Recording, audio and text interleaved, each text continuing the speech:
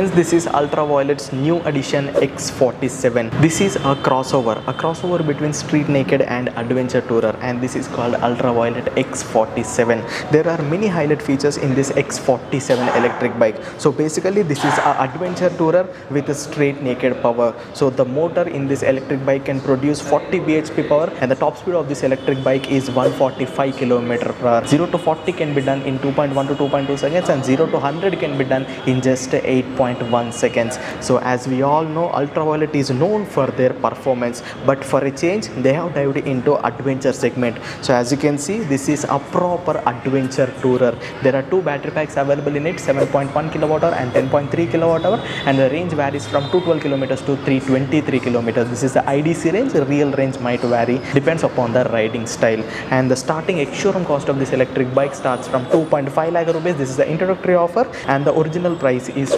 2.75 lakh rupees for the base variant. And in the top end variant, you will get radar sensors at front as well as rear. So this is the first Indian electric bike to get radar sensors. With this radar sensors, you will get some features like rear collision warning, lane departure assist, blind spot view. So like this, you will get some safety features with the help of these radars. And if you pay some extra money, you can fit front and rear dash cams, and you'll also get dedicated screen to view the front and rear views. So like this, there are many features in this electric bike.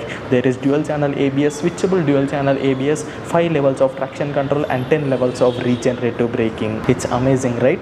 So you can pre-book this electric bike by visiting Ultraviolette's official website by paying 999 rupees. So how much would you like to rate out of 10 for this Ultraviolette X47? Please let me in the comments.